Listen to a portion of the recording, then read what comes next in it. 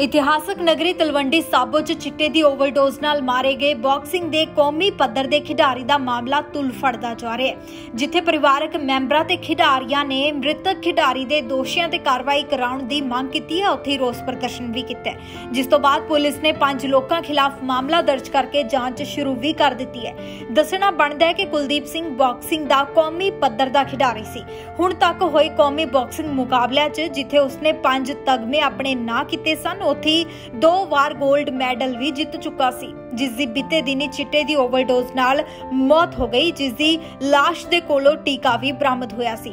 ਅੱਜ ਸਵੇਰੇ ਖਿਡਾਰੀ ਦੇ ਪਰਿਵਾਰਕ ਮੈਂਬਰਾਂ ਤੇ ਹੋਰਨਾਂ ਖਿਡਾਰੀਆਂ ਨੇ ਨਿਸ਼ਾਨੇ ਖਾਲਸਾ ਚੌਂਕ ਦੇ ਵਿੱਚ ਜਾਮ ਲਗਾ ਕੇ ਰੋਸ ਪ੍ਰਦਰਸ਼ਨ ਕੀਤਾ ਤੇ ਖਿਡਾਰੀ ਦੀ ਮੌਤ ਦੇ ਜ਼ਿੰਮੇਵਾਰ ਲੋਕਾਂ ਖਿਲਾਫ ਅਤੇ ਨਸ਼ਾ ਵੇਚਣ ਵਾਲੇ ਲੋਕਾਂ ਖਿਲਾਫ ਕਾਰਵਾਈ ਦੀ ਮੰਗ ਕੀਤੀ ਹੈ।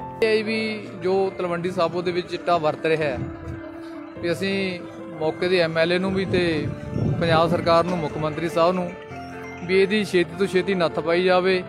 ਕਿਉਂਕਿ ਨਿਤ ਰੋਜ਼ ਇੱਕ ਅੱਧਾ ਬੱਚਾ ਰੋਜ਼ ਬਲੀ ਚੜ ਜਾਂਦਾ ਜੀ ਇਸ ਚੀਜ਼ ਦੀ।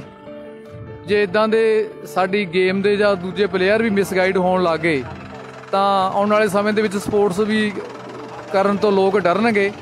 ਸੋ ਅਸੀਂ ਇਹ ਬੇਨਤੀ ਕਰਦੇ ਹਾਂ ਵੀ ਇਸ ਚੀਜ਼ ਦੇ ਉੱਤੇ ਛੇਤੀ ਤੋਂ ਛੇਤੀ ਨੱਥ ਪਾਈ ਜਾਵੇ। ਜਿਹੜੇ ਵੀ ਚਿੱਟਾ ਵੇਚਦੇ ਨੇ, ਉਹਨਾਂ ਨੂੰ ਪਰਚੇ ਦੇ ਕੇ ਅੰਦਰ ਕਰੇ ਜਾਣ।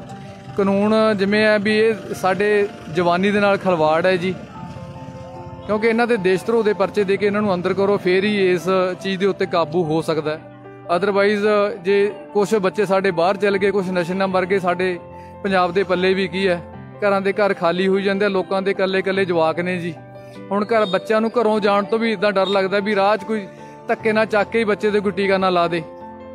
ਇਹ ਮੌਤ ਤੋਂ ਬਾਅਦ ਕਿੰਨਾ ਕੁ ਰੋਸ ਹੈ ਖਿਡਾਰੀਆਂ 'ਚ? ਖਿਡਾਰੀ ਵੀ ਕੱਲ ਦੇ ਸੂਪ 'ਚ ਨੇ ਅਸੀਂ ਦੇਖਿਆ ਰੋ ਰਹੇ ਸੀ। ਪੂਰਾ ਕਾਲਾ ਰੋ ਰੋ ਕੇ ਅਹ, ਉਹਦੇ ਨਾਲ ਦੇ ਖਿਡਾਰੀ ਸੀਗੇ। ਜਿਹੜੇ ਨਾਲ ਦੇ ਅਮ, ਦੋ- ਦੋਨੋਂ ਟਾਈਮ ਬੱਚਾ ਪ੍ਰੈਕਟਿਸ ਕਰਦਾ ਸੀ।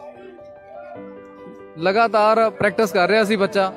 ਤੇ ਬੱਚੇ ਟੁੱਟ ਚੁੱਕੇ ਨੇ ਜੀ ਇਸ ਗੱਲੋਂ ਵੀ ਐਡੇ ਨੌਜਵਾਨ ਬੱਚੇ ਮਤਲਬ ਬੱਚਿਆਂ ਦੀ ਮੌਤ ਹੋ ਰਹੀ ਹੈ। ਤੇ ਕਿਵੇਂ ਇਹਨਾਂ ਨੂੰ ਬਚਾਇਆ ਜਾ ਸਕੇ? ਤੇ ਹੁਣ ਇਹੀ ਮੰਗ ਕਰਦੇ ਆ ਵੀ ਜਿੰਨੇ ਵੀ ਤਲਵੰਡੀ ਸਾਬੋ ਦੇ ਵਿੱਚ ਅੱਡੇ ਆ ਚਿੱਟਾ ਵੇਚਣ ਵਾਲੇ ਚੌਂਕਾਂ ਦੇ ਵਿੱਚ ਬੈਠ ਕੇ ਸ਼ਰੇਆਮ ਮਤਲਬ ਇਹ ਜੋ ਚਿੱਟਾ ਵਿਕ ਰਿਹਾ ਜੀ ਲੱਗ ਰਿਹਾ ਬੱਚਿਆਂ ਦੇ ਉਹ ਤੋਂ ਸਾਡੀ ਜਵਾਨੀ ਨੂੰ ਬਚਾਇਆ ਜਾਵੇ ਸਾਡੀ ਇਹੀ ਉਹ ਪੂਰ ਪੁਰਜੋਰ ਅਪੀਲ ਹੈ ਤੇ ਇਹ ਤੇ ਧਿਆਨ ਦਿੱਤਾ ਜਾਵੇ।